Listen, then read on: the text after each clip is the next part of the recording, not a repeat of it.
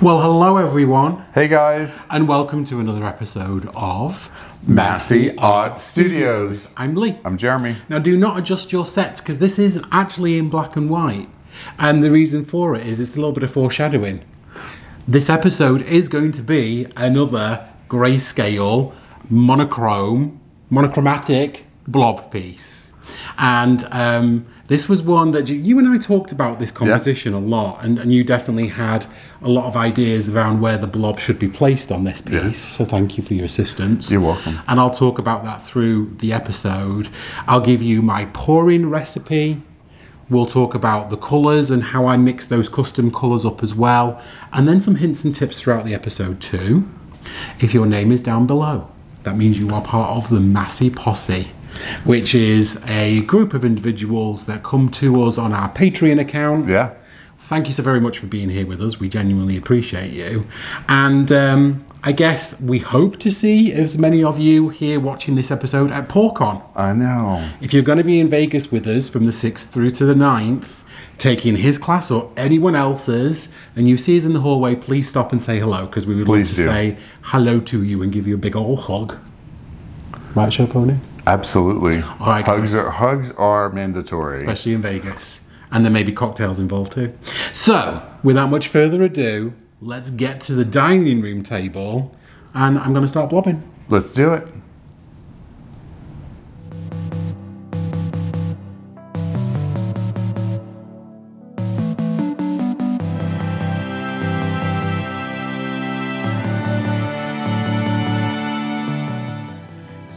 Are, back, back, back again with another blob. Um, all right, so what can I tell you about this one first? So let's talk about the board. This is a wooden board from Jerry's Artorama. It's a Da Vinci birch wood board. And on this, as you can see, I've painted four shades in a kind of a, a square pattern. Um, very Melanie Farris-esque. I purchased one of her pieces of art not that long ago and absolutely love it, and that was kind of my vibe here. The middle square is 100% Liquitex Basics black.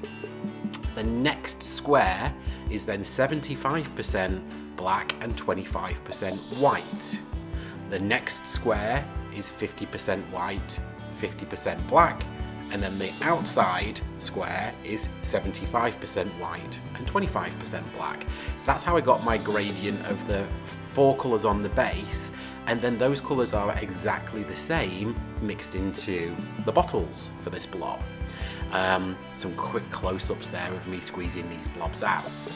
Now the blob recipe is my same, it's my tried and tested and works with all Liquitex Basics paints blob recipe and that is 50% Mod Podge, 25% of your paint mixture and then 25% Liquitex gloss varnish. Not gloss medium, but gloss varnish. Now, consistency is absolutely key in pretty much all fluid art techniques, but with the blob, it is even more so important because there's a very fine line between that blob consistency being too thin and then it's spreading or too thick and it leaving kind of mounds as it dries. So that recipe of 50, 25, 25 of Mod Podge, acrylic paint and gloss varnish will get you a consistency when you're using Liquitex paints that is perfect for blobbing. And then I decant that mixture into my squeeze bottles, I store them upside down, and then I don't blob for at least 24 hours just to let some of the bubbles from the mix in hopefully rise to the top. As you can see as I'm squeezing these out, you will still always get bubbles because you're squeezing paint out of a tiny nozzle. What do you do when you get the bubbles? Well, I'll likely show you right now. Um, you can pop them with a torch. Um, you don't have to pop them with a skewer. Definitely don't be spraying any kind of alcohol on these because it's not a resin. Um, pop them with a torch. Keep the torch moving, otherwise you'll run the risk of scalding the paint. But um, pop those bubbles now, and as it sits and dries, pop them every 10 or 15 minutes if you can. Otherwise, you'll get kind of bubbles that will just con- continually appear in the top of your blobs over the course of the time that it sits. Um, that's it for now. Come back, I'll see you in a little second, and um, we'll talk some more hints and tips on how to squeeze out these blobs.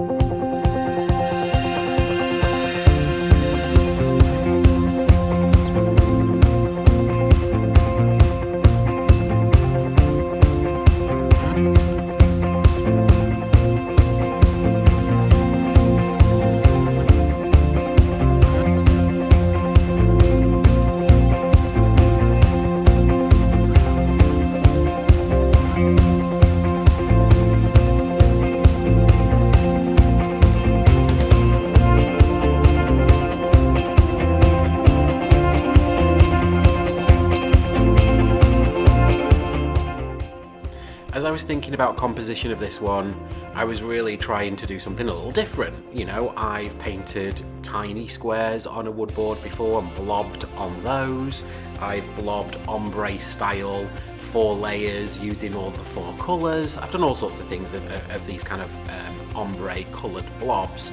Um, but what I really want to do was kind of play with perspective on this one because I loved that the middle black square was going to draw your eye into the centre.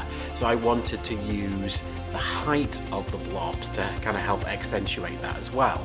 So as you've seen, as I've blobbed on this board, I've done some really big blobs and then some smaller ones in the middle and those big blobs will have three layers on them as will some of the smaller ones and then some of them will have two and some will have one. So what I'm doing is kind of drawing your eye to the center of this blob um, just by using kind of uh, height um, of the blobs as I, as I go through this.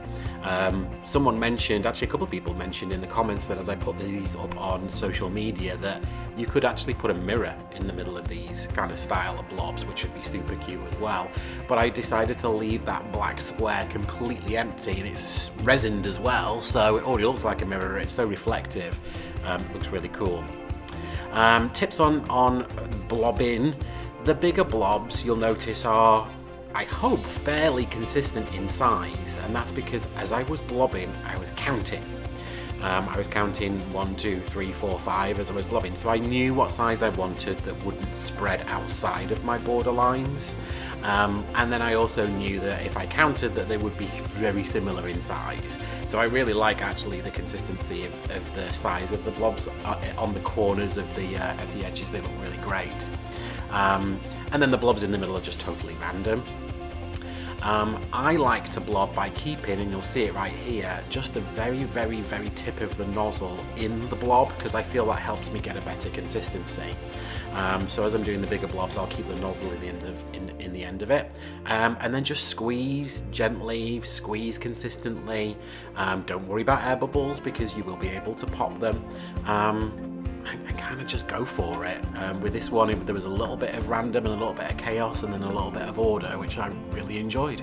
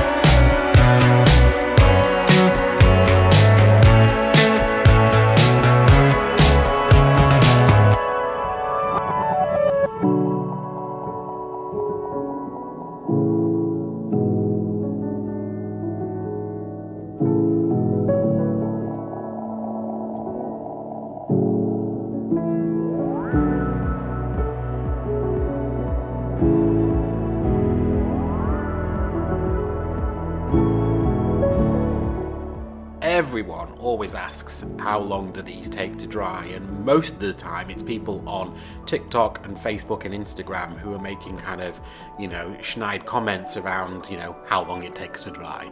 Um, but as you will see, even though those outside kind of corner blobs are bigger than the bottom of a jam jar, which is normally my guide, this one actually dried just in 24 hours. It's been particularly hot and humid here in Texas. It probably helped, even though this was inside. But you'll see right here the change within 24 hours. Now you'll notice that there was a colour change. Why was that? Well, the, re the recipe consists of both gloss varnish and Mod Podge, which in their liquid form are both murky, milky colours but they dry clear. So in the squeeze bottle, and as you squeeze this one out, they're going to look a little murkier and a little kind of grayer, a bit more washed out than the colour that they'll dry. They will dry absolutely true to the colour in the tube. Um, so don't be dismayed when you start to blob these colours out thinking that it looks like, you know, milky or grey or whatever. As it dries, it'll dry exactly as you expected it to. And in this case, just 24 hours later. So I'm um, now doing my second layer of blobs. Um, going along. I'm not going to blob on every single one of the first layers because I want to have that, you know, uh, distinguishing um, layering of one, two, three layers, which you'll see as we go through this. Um, so I'm kind of being random now on which ones I choose to, to do the second layer on. But um, sit back, there's another blob. Let's get to this.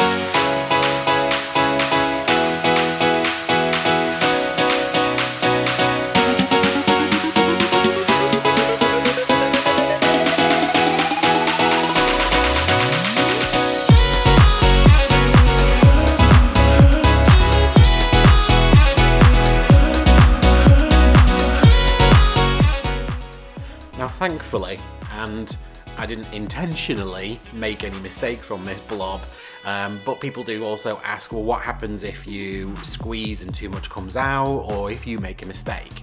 Well, if you've ever seen any of my previous blobs, you'll know that it's absolutely okay. Um, it does happen and all you need to do is take a q-tip or a cotton bud as we call them in England and just gently wipe off the acrylic paint off the top of the blob. So um, if I were to over blob I can just take a q-tip and just gently mop it up. Um, I like to moisten the q-tip because it seems to help a little bit. But because that layer that you're blobbing on onto is dry you don't mess it up. Um, and it's really easy to fix. So don't be afraid of making mistakes when you blob. Um, it looks very precise, kind of is, but you really can fix mistakes if you make them.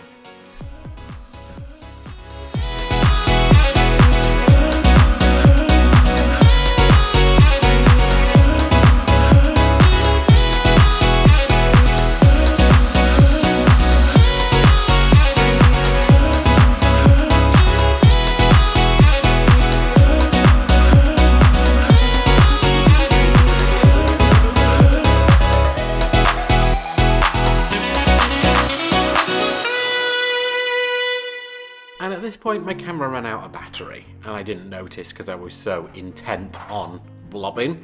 Um, but you can see here I'm just finishing off this second layer and ta-da! There it is. We've got one more layer to go. So again, just in 24 hours, we can do this final layer of blobbing. Um, I really, really loved this composition. It was actually something that Jeremy suggested doing, and I kind of then tweaked it and played around with it. But it was, it was really fun, and I love how this one has dried. Please do stick around to the very end because I've got this one in a black frame, and um, and we'll show you this one completely dry as well. Um, the only other thing I wanted to say about about these squeeze bottles and blobbing is that I do keep them and store them upside down. So these are stored with the nozzle pointing downwards and you might be thinking to yourself, well, how does that even happen? Well, um, the Fluid Art Co team actually constructed and now sell on their website a bottle holder which you actually then just sit the bottles in. I think you can get nine in it in total, and I use it every time I blob. Um, so you can cut the top or you can cut the bottom off a plastic cup turn it upside down and that will work to hold your bottles in, which is what I used to do before Fluid Art Co came up with this wonderful contraption. Um, but the little upside down bottle holder is not expensive and I will link it in the description box. So please go over to www.fluid-art.co and have a look because it really is a really wonderful thing to use because as you store the bottles upside down, that also means that any bubbles that are in your bottle also will rise to the very top, also helping in, uh, in not getting tons of bubbles in your blobs as you blob them out.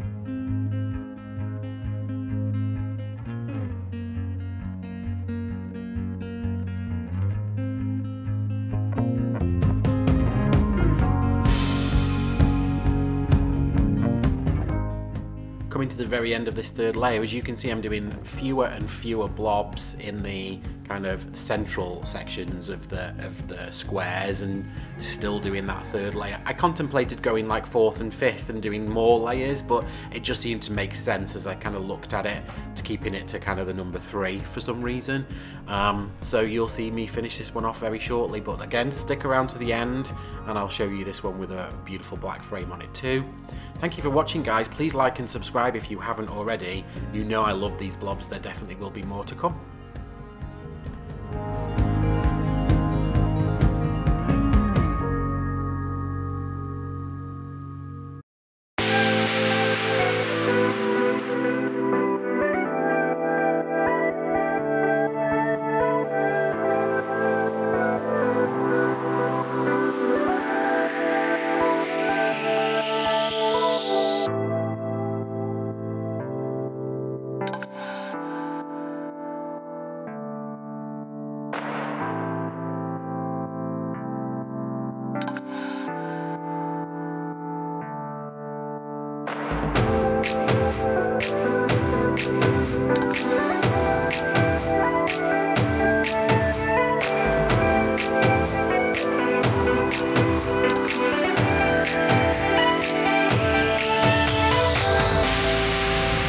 So there you have it. There you have it. There you have it. So quiet in the house without Tate. I know. You noticed. I know. He's at the groomers right now getting his summer cut, just like we've had.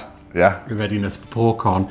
What did you What did you think of my little blob? I love this one. Yeah? I, I thought it was great. I'm really excited that you didn't blob in the middle. Um, it looks kind of almost like a mirror that's in the center of it, and that's the illusion of it, and I love it. I it. did. Karen from Waterfall Acrylics and a couple of other people actually in our socials mentioned that you could make this kind of composition and, and put a mirror in the middle and have it as like a, a mirrored frame. I really enjoyed this one, as I always do with my blobs. You guys know I'm obsessed. I just want to kind of show you, if I may, the height that you get with these two if it's going to focus. Maybe not. I do know during the course of the edit that I did have a little problem with the focusing on this one because it's there's just so much on it. Yeah. And there's so much for it to kind of the camera to to focus on. But this piece is actually going into a curated art show Yeah. um, which is going to happen in August. So you'll probably see some more pictures of this one because we'll take some pictures and show you guys in the in the YouTube channels as well. Really love that one. Um, anything else to say, Show Pony? It's Wednesday. It's hot. It's hot, hot. 107 today. Um, we are following the train of Julie E and an art by Julie. Sorry, art by Julie E and Just Janice. Yes. Just Janice goes first, then art by Julie E. So please go check those gals out if you haven't already. They are amazing. Um, even though we're going to be in Vegas, we'll have an episode up for you on Sunday morning. Yeah. At our new usual time of 11 o'clock Central. Um, however, no, we won't be in classes. So yeah, we'll we'll see you on that live as well.